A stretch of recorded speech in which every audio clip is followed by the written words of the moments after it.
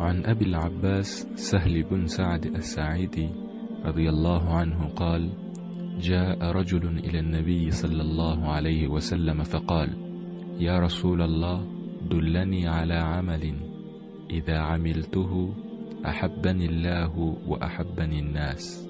قال ازهد في الدنيا يحبك الله وازهد فيما عند الناس يحبك الناس.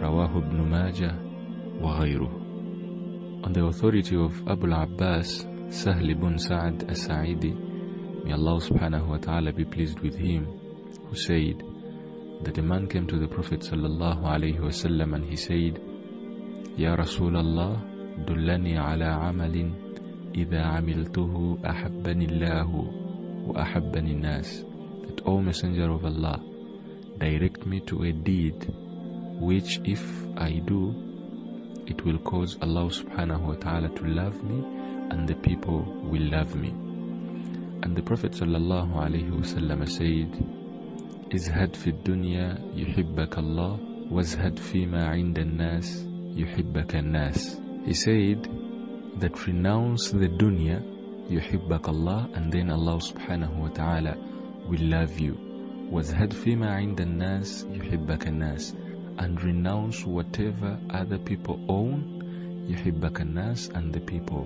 will love you. The hadith was related by Ibn Majah and others. Abu Abbas Sahl bin Sa'd al-Sa'idi was one of the notable companions of the Prophet Muhammad sallallahu alayhi wasallam.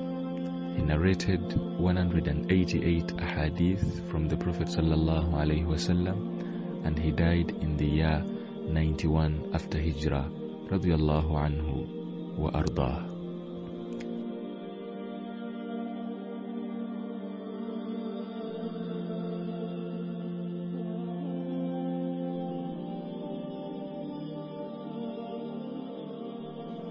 He says that a man came to the Prophet wasallam and he said, Ya Rasulallah, dullani ala amalin, that O Messenger of Allah, direct me to a deed, that if I do that deed, it will cause Allah subhanahu wa ta'ala to love me and the people will love me. This shows us the extent to which the companions loved to be loved by Allah subhanahu wa ta'ala the extent that this companion only wants one deed that is intersectional between the love of Allah subhanahu wa ta'ala and the love of other people. He's asking for one deed that if he does that one deed, Allah subhanahu wa ta'ala will love him and the people will love him. And the Prophet sallallahu alayhi wasallam directed him to one deed divided into two. The one deed was a zuhd, which is asceticism, which we are going to see what it means. The Prophet wasallam says, "Izhad fi dunya yuhibbaka Allah, wazhad fima 'inda an-nas yuhibbaka an-nas." Renounce the worldly life, yuhibbaka Allah, and Allah subhanahu wa ta'ala will love you. Wazhad fima 'inda an-nas yuhibbaka an-nas, and renounce what other people possess, and they people will love you. First of all, what is zuhd? What is asceticism? A clear definition can come from a hadith narrated by Abu Dharr that the Prophet sallallahu alaihi wasallam said, الزهادة في الدنيا ليست بتحريم الحلال ولا إضاعة المال. Asceticism, renouncing the dunya, is not in forbidding the permissible, ولا إضاعة المال, and it is not in wasting or losing wealth. ولكن الزهادة في الدنيا but indeed, the asceticism, the renouncing of the dunya, ألا تكون بما في يديك أوثق مما في يد الله. That zuhd with respect to this world is only where a person puts more trust in Allah subhanahu wa ta'ala more than what is in his hands. In other words, whatever is in the hands of Allah subhanahu wa ta'ala is more trusted to a zahid more than whatever he has in his own hands. So zuhd does not mean you have nothing, but zuhd means you don't let anything to have you. You in full control of whatever you possess, and whatever you possess does not control you. Why does the Prophet ﷺ say that whoever renounces the dunya, Allah subhanahu wa ta'ala will love them? The first reason is that a person who performs zuhud, he trusts whatever is in the hands of Allah subhanahu wa ta'ala more than that which is in his own hands. So with that, it causes Allah subhanahu wa ta'ala to love them. For a person who performs zuhd, his greatest concern is the akhirah and not the dunya. And for Allah subhanahu wa ta'ala, the akhirah is more expensive than the dunya. This is seen with the tradition of the Prophet Muhammad sallallahu alayhi wasallam, where he says that if this dunya was to weigh the weight of a fly's wing, lama saqa minhu kafir, a disbeliever wouldn't take even a sip of water from it. So with that, Allah subhanahu wa ta'ala loves the person who renounces the dunya.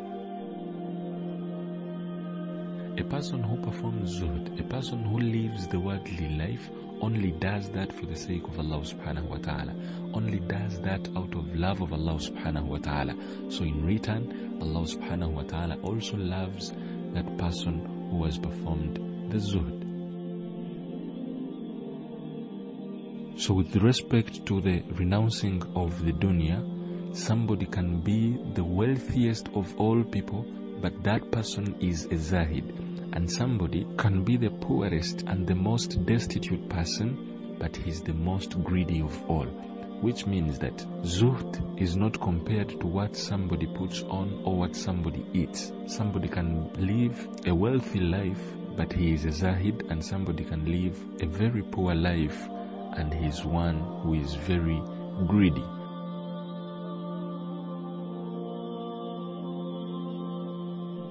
Then the Prophet ﷺ also stated that وَازْهَدْ فِي مَا عِنْدَ النَّاسِ Renounce what other people possess, يُحِبَّكَ النَّاسِ and those people will love you.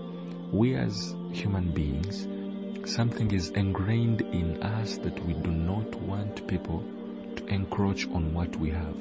That's why the ibadah of giving out for the sake of Allah subhanahu wa ta'ala is a very strong ibadah because it goes against the human desires.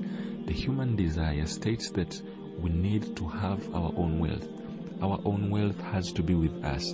But once you go against that only for the sake of Allah, this ibadah becomes so much heavy in front of Allah subhanahu wa ta'ala. So if you want people to love you, you have not to look at what they possess because once they know that you're taking a close look to what they have, your position, your honor, and your dignity towards them will go down and down till they reach a point of even hating you.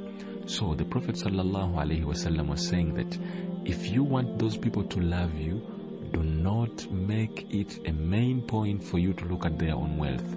However much respectable you might be, however much of a sheikh you are, however much of a mufti you may be, once you look at other people's wealth, once you keep a close look to other people's wealth, and they realize that whatever you are in front of them will not be the same from that point onwards, because they realize that you're encroaching on what they possess.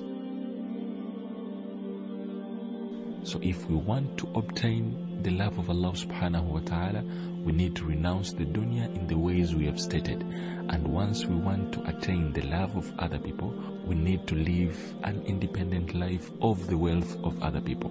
We ask Allah subhanahu wa ta'ala to put us among those that He loves, and we ask Allah subhanahu wa ta'ala to grant us acceptance in front of other people.